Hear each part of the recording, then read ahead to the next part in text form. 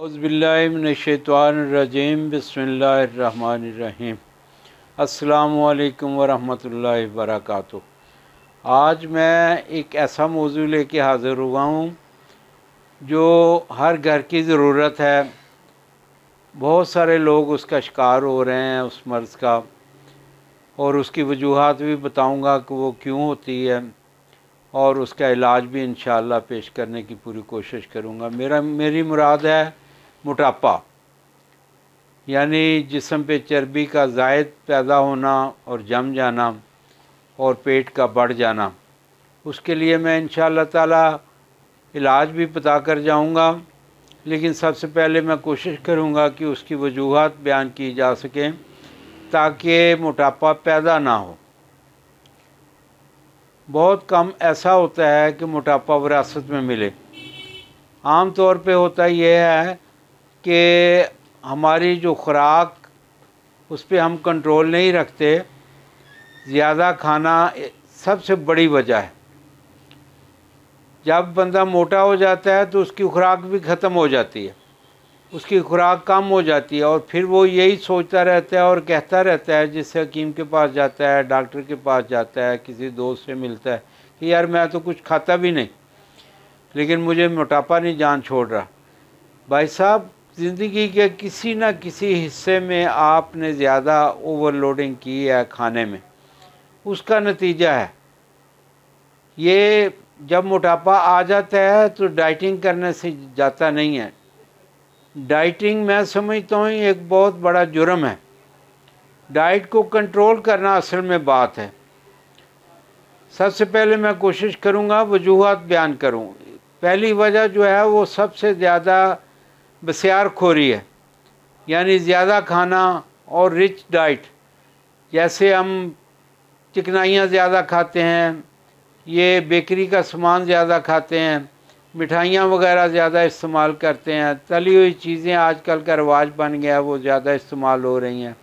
लेकिन खुराक इस दौर में बहुत अच्छी खाई जा रही है। उसके मुकाबले में एक्सरसाइज बिल्कुल ख़त्म होकर रह गई है। जो कि एक बहुत ज़रूरी हिस्सा था।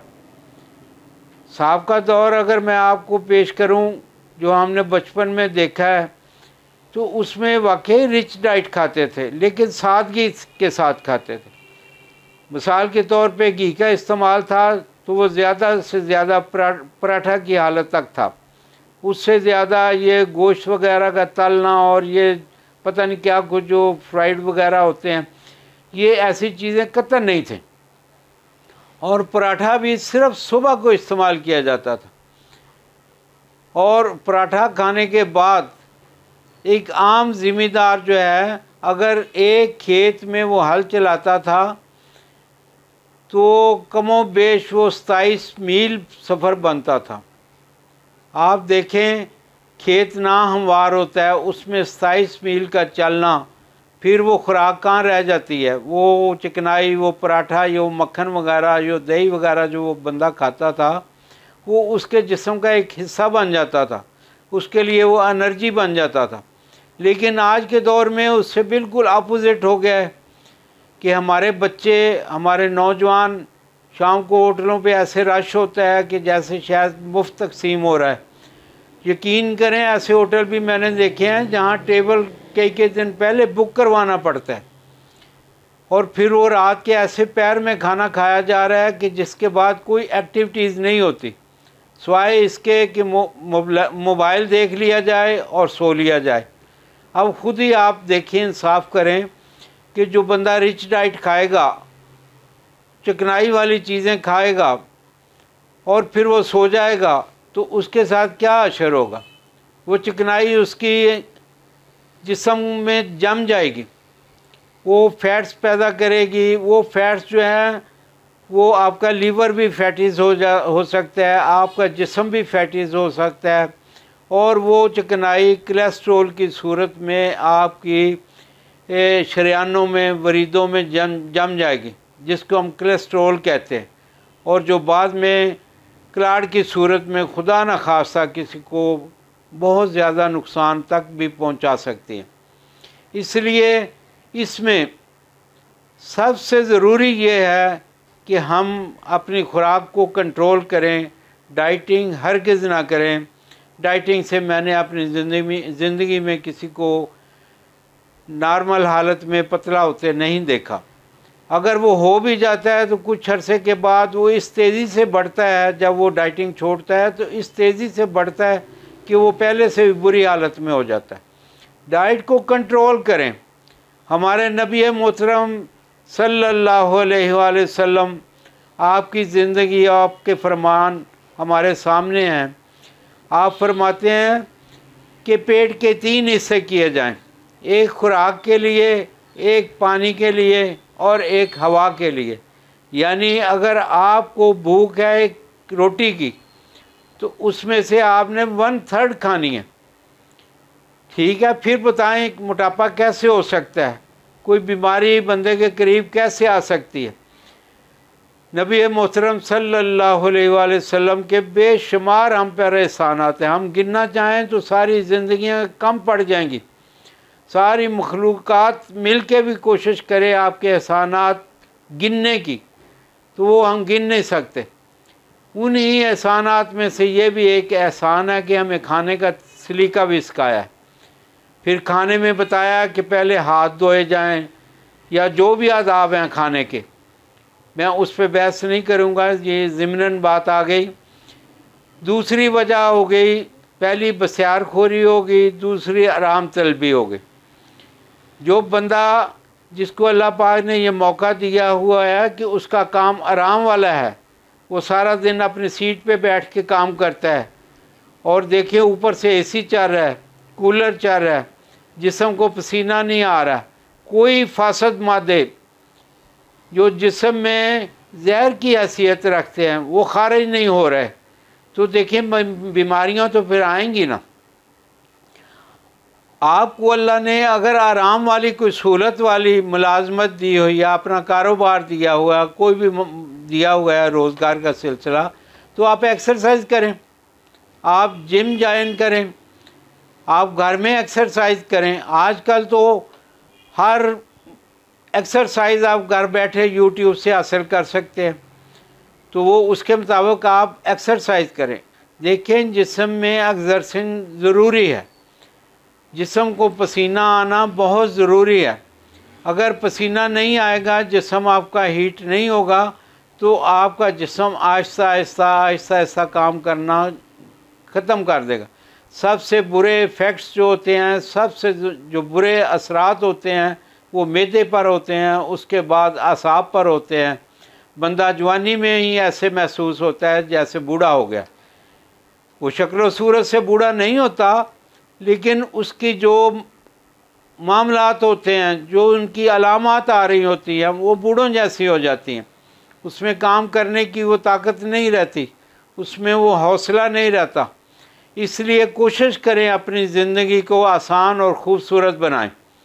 खूबसूरत और आसान ज़िंदगी तब ही हो सकती है जब आपकी सेहत सौ फ़ीसद ठीक हो। सेहत एक बहुत ज़रूरी अंसर है। ईमान के बाद मैं समझता हूँ सबसे बड़ी नेमत जो है वो सेहत वाली है। अपनी सेहत पर खुद ख्याल रखें। ये ना हो कि रोज़ रोज़ डॉक्टरों के पास, हकीमों के पास आना जाना आपका हो। आप समझें कि वहाँ से मैं दवाई लूँगा तो सेहतमंद हो जाऊँगा। नहीं, एक बात मैं ऐसी आपको खूबसूरत बताने जा रहा हूँ कि जो बंदा सेहत में परहेज़ करता है, वो कभी बीमार नहीं होता। सेहत में परहेज़ का मतलब ये होता है कि बसियार खोरी ना करे ओवर डाइटिंग कभी ना करे। रिच डाइट खानी है तो जिम करे एक्सरसाइज करे। अगर बीमारी में बंदा परहेज़ करेगा तो वो तो सिर्फ़ एक इलाज की सूरत है, बीमारी तो बदस्तूर वहाँ कैम रहेगी। लेकिन अगर सेहत में परहेज़ करेगा तो वो कभी बीमार नहीं होगा। उसको कभी किसी हकीम की, किसी डॉक्टर की, किसी दवाई की ज़रूरत नहीं पड़ेगी। इसलिए कोशिश करें अल्लाह आपको सेहत वाली ज़िंदगी अता फरमाए, उसके लिए आपको जदोजहद करना पड़ेगी। बंदे को अल्लाह पाक ने मुशक्ति पैदा किया है। इसलिए मुशक्क़त ज़िंदगी का लाजमी हिस्सा समझें। जैसे खाना हमारे लिए ज़रूरी है, ऐसे ही मशक्क़त भी हमारे लिए बहुत ज़रूरी है। उसकी सूरतें मुख्तलिफ़ हो सकती हैं, आप फास्ट वॉक कर सकते हैं, आप जिम ज्वाइन कर सकते हैं, आप एक्सरसाइज कर सकते हैं, आप पीटी कर सकते हैं। ठीक है? तीसरा जो आम इफ़ेक्ट है मोटापे के लिए, वो ये है कि हर वक्त सोचो विचार में रहना स्ट्रेस में रहना। स्ट्रेस से कभी तो बंदा इतना दुबला पतला हो जाता है कि उसकी हड्डियाँ निकल आती हैं और कभी ऐसा होता है कि इससे बिल्कुल बरक्स हो जाता है। बंदे के ऊपर चर्बी चढ़नी शुरू हो जाती है, उसका दिमाग मऊफ हो जाता है, उसका जिसम काहली का शिकार हो जाता है। फिर उसकी ज़िंदगी उसके लिए एक अजीरन बन जाती है। फिर उसको ज़िंदगी गुजारना मुश्किल हो जाता है। फिर उसका आए दिन डॉक्टरों और हकीमों के पास ही विज़िट रहता है। इसलिए खुदारा सोचिए, अपनी ज़िंदगी को खुद खूबसूरत बनाने की कोशिश कीजिए। कागज़ और पेंसिल संभालिए, मैं नुस्खा पेश करने जा रहा हूँ। आप नुस्खा लिखिए, वैसे वीडियो पर लिखा भी आ जाएगा। इन ताला आप उससे फ़ायदा उठाएँ। और मेरे लिए दुआएँ करें। लिखें, अजवैन देसी 250 ग्राम। इसको लीमू के पानी में भगोना है। पानी इसके ऊपर इतना ज़्यादा हो, कम अज़ कम एक इंच। उसको फिर साय में खुश्क कर लेना है। खुश्क जो होगी अजवैन 250 ग्राम, सौंफ 250 ग्राम और नमक स्या 100 ग्राम। ये तीन ही चीज़ें हैं, इनको बारीक करके रख लें। ये आधा चम्मच सुबह और आधा शाम। खाने के बाद, पानी के साथ खाएँ। ये सिर्फ़ मोटापे के लिए नहीं है, ये मैदे के हर मर्ज़ की एक दुआ है, जिसमें बदहज़मी का ना हज़मी का होना, भूख का ना लगना, खट्टे टकार आने, मैदे में सोजश वगैरह हो जानी। यानी आप महसूस करेंगे मैदे की हर मर्ज़ की ये दुआ है। और इन ताला आपको, आप भी कोशिश कीजिए। सिर्फ़ दवाई पे डिपेंड ना कीजिए दवाई अपना काम करेगी। अगर आपने बसियार खोरी ना छोड़ी, आपने बे टाइमी खाना ना छोड़ा तो फिर दवाई कितना अरसा आपका साथ देगी? फिर दवाई आहिस्ता आहिस्ता कमज़ोर पड़ना शुरू हो जाएगी और आपकी मर्ज़ बढ़ना शुरू हो जाएगी। अगर आप सेहतमंद ज़िंदगी गुजारना चाहते हैं तो फिर आप भी कोशिश करें। दवाई भी ज़रूर इस्तेमाल करें, लेकिन कोशिश करें ख़ुद। ताकि दवाई आप पे अच्छा असर करे और आप सेहतमंद ज़िंदगी गुजार सकें। अल्लाह आपको खुशियाँ अता फरमाए और खुशियाँ तकसीम करने वाला बनाए। आमीन सुम आमीन या रब्बुल आलमीन।